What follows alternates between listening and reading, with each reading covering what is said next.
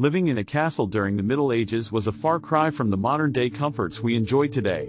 Life in a castle was difficult and dangerous, yet necessary for survival during a time when warfare and conflict were a common occurrence. A castle was not only a place of shelter, it was also a stronghold and center of power and dominance. For those lucky enough to live in a castle, life was quite different than that of the average peasant. Castle life was built around the hierarchy of the lord, the lady, their children, and the servants. At the very top was the Lord, who had the most power and authority. The daily life of those living in a castle revolved around the Lord's orders and duties.